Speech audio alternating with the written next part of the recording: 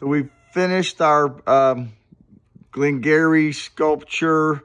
Um, I, I really like the way it turned out. Um, this is, uh, I say it's a new idea, but at the same time, it's kind of a, something I've been playing with for a while because um, I was doing the stop motion for a while where I was using green screen and using environments uh, that I had been in. Most of them were just around uh, my house.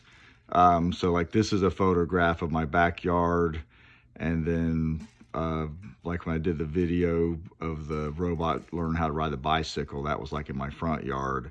So it's kind of a fascinating idea to me. Maybe it's a little Alice in Wonderlandish um, to imagine, you know, um, meeting uh, imaginative figures um, in your environment, like at my place. Uh, it's kind of fun to think that I could, you know, meet someone like Glenn Gary uh, on the way to my shop. And um, uh, of course, they would be friendly. So I think it's a neat idea. But I, I think it's kind of cool the way it turned out. I think it's uh, the idea seems to be working, but I'm going to continue to pursue it.